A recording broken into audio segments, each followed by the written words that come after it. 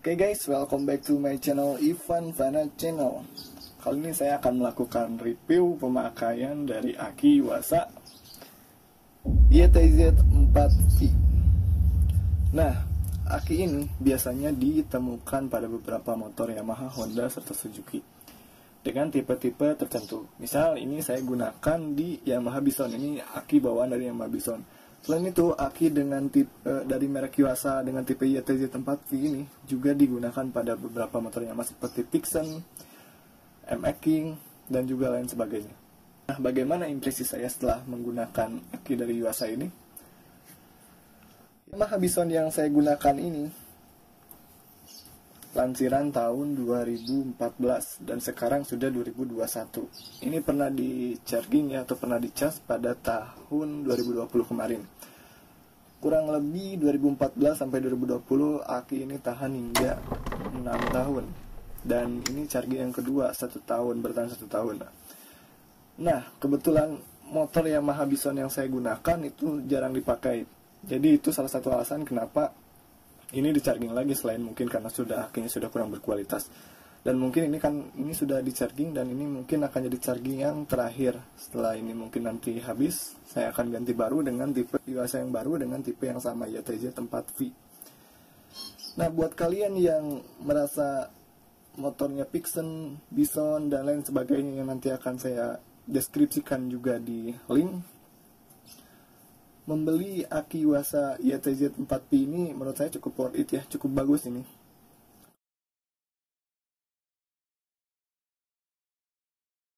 Baru drop setelah 6 tahun pemakaian. Dan itu pun 6 tahun pemakaian motor jarang dipakai ya. Mungkin saat 1 ke 2 tahun itu masih sering dipakai, cuman 3 ke 6 tahun itu jarang dipakai. Mungkin seminggu 3 kali itu pun jarak pendek dan di masa-masa pandemi seperti ini motor saya benar-benar jarang dipakai sehingga akinya itu benar-benar drop Nah, Yuasa ini merupakan aki kering dan aki kering ini perawatannya cukup mudah. Selain itu jika motor yang kalian gunakan memiliki kelistrikan dengan jenis DC atau arus satu arah, aki ini sebetulnya nantinya akan tidak akan mudah drop ya jika dengan catatan perawatannya benar dan juga motornya sering digunakan. Sebab kenapa? Sebab jika motornya sering digunakan, aki ini nanti akan melakukan charging sendiri nanti melalui kiprok ya. Dan lain halnya mungkin bisa di kalian baca di artikel-artikel di satupiston.com.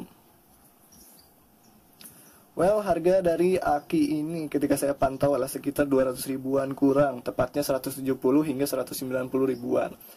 Dengan harga seperti itu dan juga dengan jenis aki kering dan juga sudah sangat awet, ini sangat worth it ya.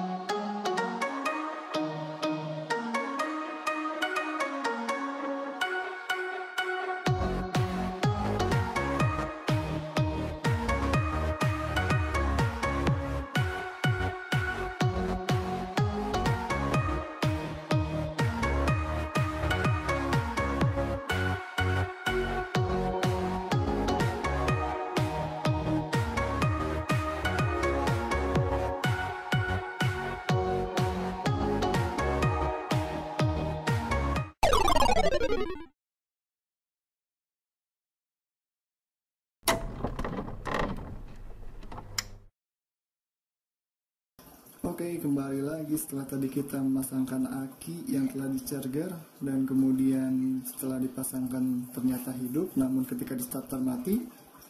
Kita tadi coba bersihkan bagian si kring dan rumah si kringnya dan kita coba sekali lagi. Kembali nyala setelah tadi sempat drop kita coba lihat berapa voltasenya 13,1 cukup tinggi cukup besar tapi normal. Tapi kita ingin melihat juga bagaimana voltasenya setelah kita nyalakan mesin starternya. Coba semoga berhasil.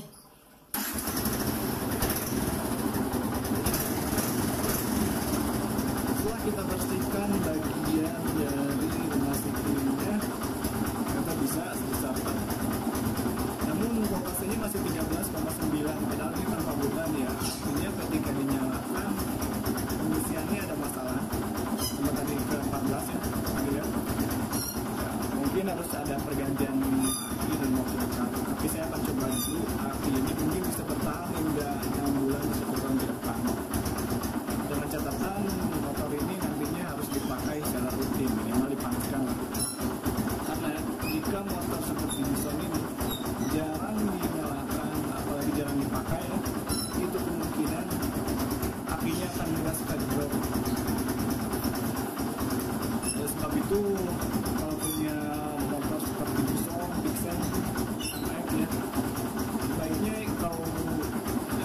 disimpan dalam jangka waktu lama.